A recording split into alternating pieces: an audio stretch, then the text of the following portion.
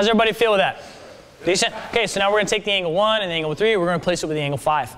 Okay, so when he thrusts the five, I'm gonna get to the side and take the shot. And I just feed the rest the same. I drop this down, feed the five.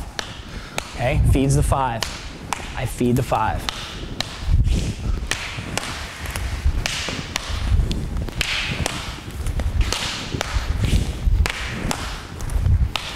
Okay, super easy. And if you can, and you mix it. So there's your one, there's your three, there's your five, and you just kind of mix it on each other now. Ooh.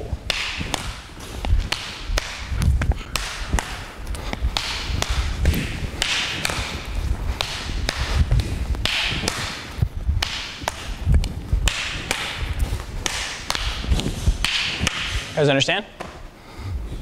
Like butter. All right, hit it.